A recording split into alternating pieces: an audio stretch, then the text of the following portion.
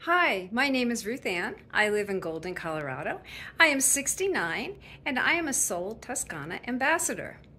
I first was attracted to their products by reading online that the ingredients are grown organically on their farms in Italy. And Italy is one of my favorite places and probably one of yours too. Italy, the Italian people, the food, the scenery, it's just so wonderful.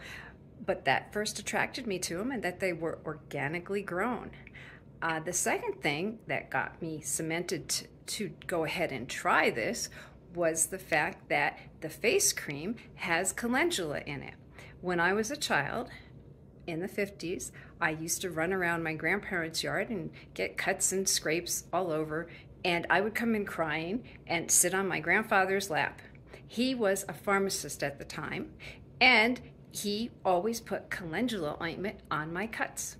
And miraculously, they would heal and not hurt and be great within a few days. So I know the products work. I've been using it for about eight months and I love them.